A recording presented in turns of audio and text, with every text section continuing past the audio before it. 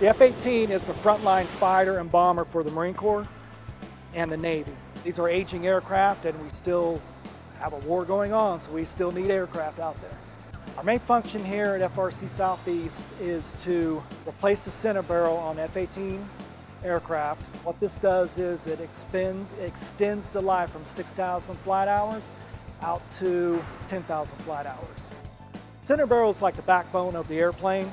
The wings attached to the center barrel, the main landing gear attaches to the center barrel, plus it's in the center of the aircraft that takes most of the stress.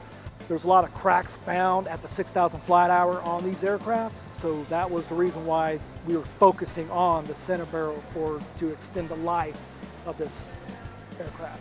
Having thousands of pounds of bombs on the wings flying their missions puts a huge toll on the airframe of this aircraft. One little crack not found here cause extensive damage out there in the fleet. So we take great pride and we do a heavy inspections on these airframes. It may take longer, but in long run, we're providing a better product to the Navy and the Marine Corps when they receive these aircraft back to them.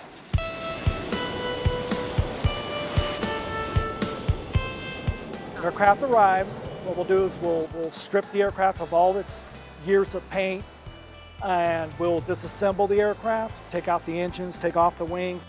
We'll do a heavy inspection on the airframe at that point to determine any other incoming damage other than our, our replacement requirements.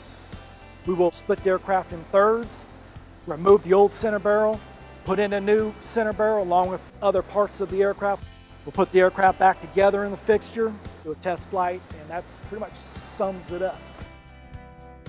95% of the damage that we find on these aircraft on the components and the parts that we removed are fixed in-house. That lowers our cost, better savings to the taxpayer, actually provides local jobs here in Jacksonville. We are scheduled to receive 10 center barrel aircraft a year through 2020. So we're looking at 30 to 40 aircraft more coming in. That's another reason why the faster we get these out, the quicker we can get them in. I would say anywhere from 80 to 90% of our mechanics and artisans that work on this airframe are prior military, which gives us great pride in their craftsmanship because they know the need for these aircraft back to the fleet. They know that their brothers and sisters out there in the Navy and the Marine Corps are going to use their product. So they go the extra mile, the extra step, not only to increase the turnaround time, but also the quality of their work in these aircraft going back to the fleet.